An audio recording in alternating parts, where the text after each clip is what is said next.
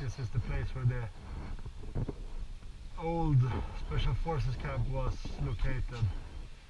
Uh, uh, uh,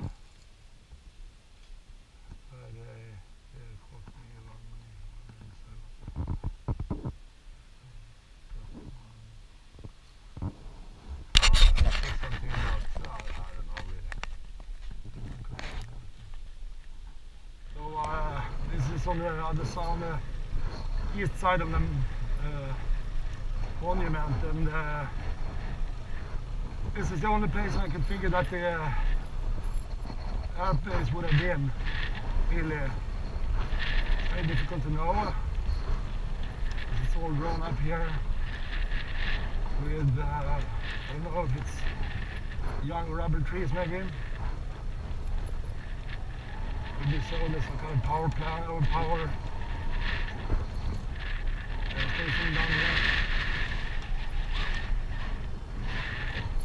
So I have no clue whether this would be the site of the old uh, Special Forces base. Maybe we'll see down here. On the way back, there's probably nothing down. There's nothing to see here really. No monument. I mean this open area here, looking right. I'll take a picture also. See if someone would remember the site. I mean, it's the, the mountains are very specific here to the east. Uh, and the village or the town of Dak To is uh, down there. I'll take another one. Ah.